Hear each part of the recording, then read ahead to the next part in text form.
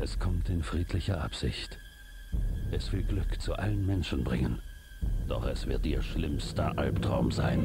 Wenn Sie jetzt nicht mitmachen beim großen McDonalds Monopoly Gewinnspiel, da gibt es jetzt Millionen von Preisen. Zum Beispiel Big Macs oder 50 Kurzurlaubsreisen oder Camcorder oder sogar 33 Fiat Doblo oder Baguetta.